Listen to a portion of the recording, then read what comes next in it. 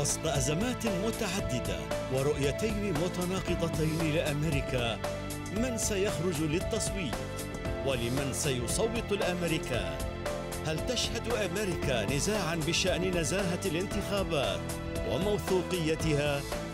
إذا خسر ترامب كيف ستتعامل المؤسسات الأمريكية مع رفضه لتسليم السلطة؟ وهل ستشهد السياسة الأمريكية تحولا في المنطقة العربية بتغير الرئيس؟